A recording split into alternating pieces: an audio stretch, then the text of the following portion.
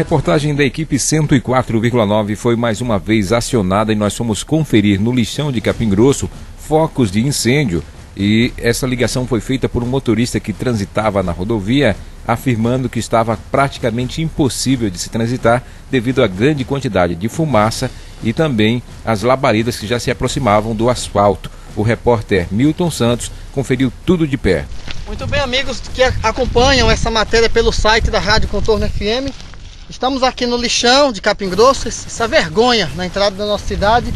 Recebemos uma informação de que haveriam focos de incêndio Aqui a nossa equipe se desloca até o local e realmente observamos meia dúzia de focos de incêndio aqui no lixão. Esse incêndio provavelmente é provocado por ação humana, né? provavelmente provocado por ação humana, realmente lamentável.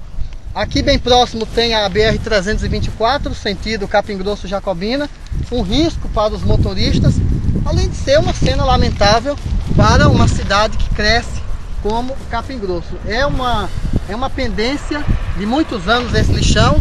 Nós queremos fazer aqui nesse momento uma cobrança à administração municipal no sentido de que esse problema seja solucionado. Existe solução, falta boa vontade. Você acompanha nas nossas imagens realmente a situação, dois focos maiores de incêndio, mais os três focos menores. Fica o registro em nome da equipe da Rádio Contorno FM. A fumaça aqui é, realmente às vezes atrapalha, um calor insuportável, muita cinza, muita cinza, muito lixo mesmo. Aqui, aqui já foi lugar, locais onde já tocaram fogo outras vezes. Parece que eles fazem um rodízio aqui, cada ponto eles tocam fogo em um determinado dia, uma determinada semana.